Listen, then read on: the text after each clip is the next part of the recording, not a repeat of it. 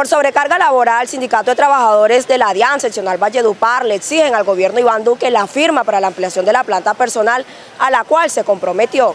Es de anotar que las protestas se realizan a nivel nacional. Hoy la protesta de nosotros, la movilización, es por el incumplimiento del gobierno nacional a la firma del decreto de planta de empleo temporal. Esto nos está afectando a todos los trabajadores, no solo provisionales, sino los trabajadores de carrera. Hoy se están viendo afectados por la pérdida de sus encargos, se están desmejorando en su situación salarial y algunos compañeros provisionales han sido desvinculados de la entidad. El gobierno Duque nos está incumpliendo porque el compromiso era, una vez levantada la ley de garantías, se firmaba la planta de empleo temporal.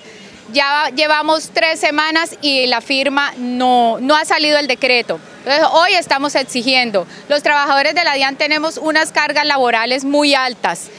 La creación de esta planta son mil empleos. ¿Esto qué hace? Que los trabajadores, las cargas laborales se vean disminuidas y es el inicio para una ampliación de planta. Hoy es el inicio de las movilizaciones. Seguiremos movilizándonos la otra semana porque el gobierno nos tiene que escuchar. El gobierno tenía un compromiso con nosotros y ha incumplido ese compromiso.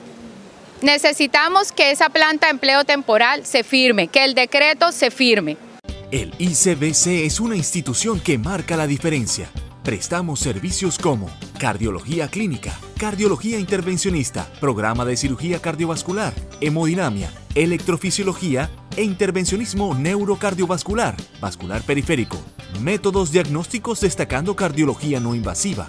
Además, contamos con el servicio de unidad de cuidados intensivos y hospitalización, un equipo humano comprometido en el cuidado y monitoreo de nuestros pacientes, brindando un servicio oportuno según la necesidad. Nuestro lema es Por el corazón del valle. Le ponemos el corazón para el bienestar de nuestros pacientes. Somos el Instituto Cardiovascular del Cesar.